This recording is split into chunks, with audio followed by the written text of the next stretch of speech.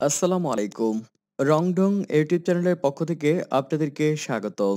আজকের এবারের খবরের আলোচনায় রয়েছে সৌদির আজ সকালের পাওয়া খবর, সৌদিতে করোনায় আক্রান্ত রোগীর সংখ্যা বেড়ে হয়েছে ২,২৩৮ জন।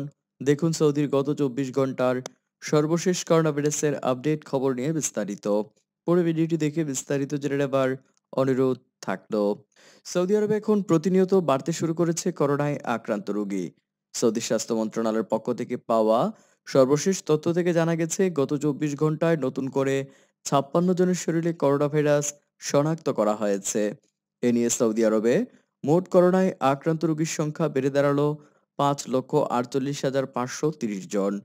তাছাড়া সৌদির স্বাস্থ্য মন্ত্রণালয়ের পক্ষ থেকে আরও জানানো হয়েছে, গত চব্বিশ ঘন্টায় করোনায় আক্রান্ত রোগীদের মধ্য থেকে সুস্থ হয়েছে উনপঞ্চাশ জন। এখন পর্যন্ত মোট সুস্থ হয়েছে পাঁচ লক্ষ সাঁইত্রিশ হাজার পাঁচশো দুই জন। সৌদি স্বাস্থ্য মন্ত্রণালয়ের পরিসংখ্যান থেকে আরও জানা গেছে, গত চব্বিশ ঘন্টায় করোনায় আক্রান্ত রোগীদের মধ্য থেকে মারা গিয়েছে দুইজন এখন পর্যন্ত মোট মারা গিয়েছে আট হাজার সাতশো নব্বই জন। ফলে বর্তমানে সৌদি আরবে করোনায় আক্রান্ত রোগী আছে দুই হাজার দুইশো আটত্রিশ জন। আর এদের মধ্য থেকে চৌষট্টি জনের অবস্থা খুবই আশঙ্কাজনক। তাদেরকে বিভিন্ন হাসপাতালের আইসিইউতে ভর্তি করে রাখা হয়েছে।